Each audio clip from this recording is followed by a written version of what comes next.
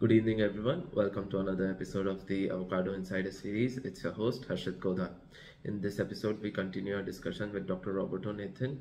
He was the former Extension Officer of the Extension Service at the Israeli Agriculture Ministry, and uh, he talks about intercropping in avocado farming. If you have any questions about commercial avocado farming, post your questions in the comment section down below and I'll ask the experts those questions and come back to you with a reply or create a separate video about it. So my next question is, can we intercrop and grow something in between the rows? Because farmers here uh, don't want to wait for three years after they have planted the trees to get something out of the orchard. So what are your suggestions regarding that? That's a problem.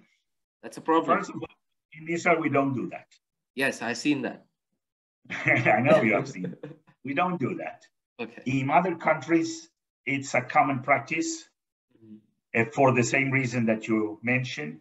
The problem with that is that uh, the irrigation and the nutrition requirements are different. If you intercrop, you're adding a crop that has totally different.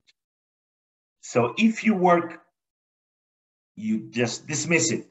You don't consider the other crop. You work like what avocado for avocado, the other crop will not be will not success will not be a success. But If uh, you work for I'm- like forever you put in the middle, Yeah. uh, the avocado will suffer.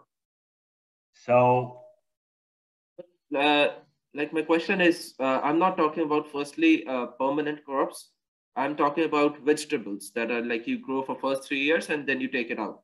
And I'm talking about for the space in between the rows where you know the tractor yes, can go. I, I understood perfectly, and that's exactly what I meant. Okay. so- Vegetables grow at a different, they have a different growth rate than avocado. They have totally different requirements. I'm not talking about tomatoes and not about whatever. I'm talking generally, have totally different water and nutrient requirements than avocado. So if you grow, if you grow avocado, grow avocado. If you grow vegetables, grow vegetables. Both, it's not this and not this.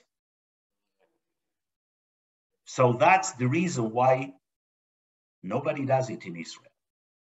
And there is a reason for that. It's not a cultural thing and not a religious thing. It just doesn't work. Doesn't work. So because you will damage. It's, a compromise, and uh, don't compromise. Do the do your best. I hope you found the video interesting and insightful. Thank you for watching. That's it for this video. But please don't forget to subscribe. I'm posting regular content these days. So whenever I post something new, if you have subscribed, you automatically get notified.